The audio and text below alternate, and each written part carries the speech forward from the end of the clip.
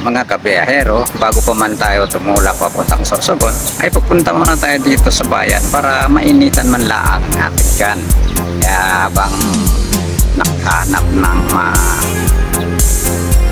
kape man lang, ay dito muna tayo sa plaza, dadaan muna tayo sa Shout out to Ann Guadamor de Mahota kay Diding Vlog kay Wings Habi Channel kay Kabansa Channel at kay Nika Datahan YT Channel. O mga lode ano pang hinihintay? Ayun na. Papunta na tayo ng Sorsogon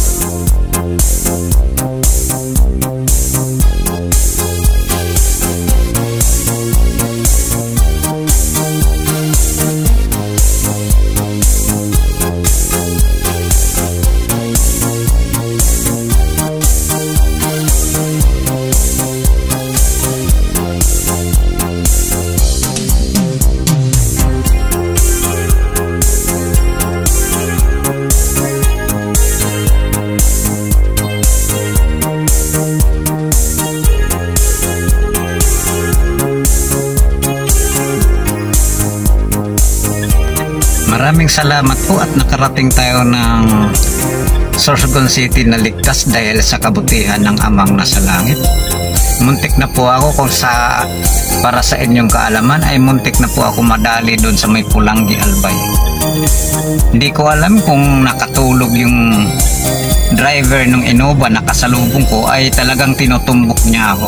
Mabuti na lamang kay at dalawa lang kami doon sa kalye, naiiwas ko pa at malaki yung kalsada. Kung nagkataon na salubungan lang, nako mayayari ako talaga sa araw na ito.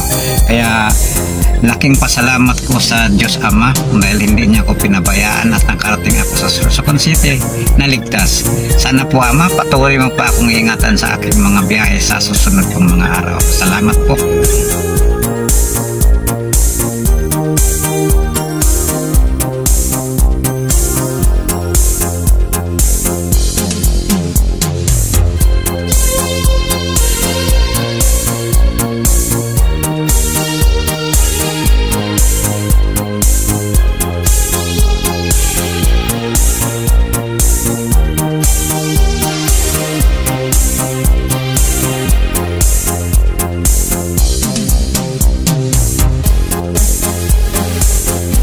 Maraming salamat mga Lodi sa panonood at antabayanan ang mga susunod pong part ng ating pag-explore sa Bicolandia.